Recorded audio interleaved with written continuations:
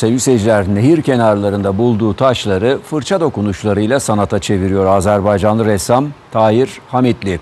Taşların üzerine yaptığı yağlı boya resimlerle dikkat çekiyor. Azerbaycan'ın kuzeybatısında yer alan kültür ve medeniyet şehri Şeki, ülkeye birçok sanatçı kazandırmasıyla tanınıyor. Onlardan biri de Tahir Hamitli. Evə gələn vaxtı, yəni onun ətrafında maraqlı bir daşa rast gəldim. Qara, çox da böyük olmayan 15-20 santimetr eni hündürlüyü olan bir qara yerdə daş ə, gözümə dəydi.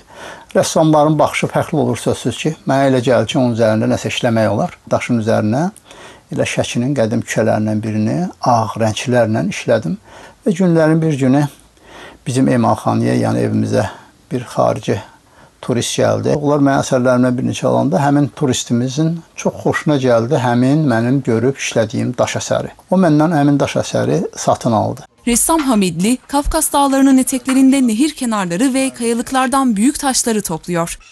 Şehrin tarihi ve dini yapılarını eserine resmediyor.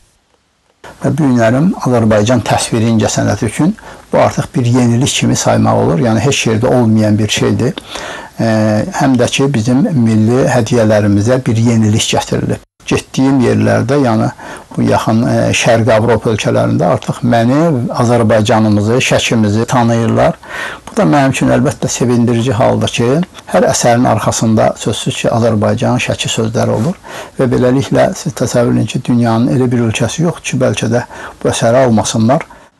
Yerli ve yabancı turistlerin yoğun ilgi gösterdiğini söyleyen Hamitli, çalışmalarını yurt dışında çok sayıda sergi ve festivalde sanatseverlerin beğenisine sunuyor.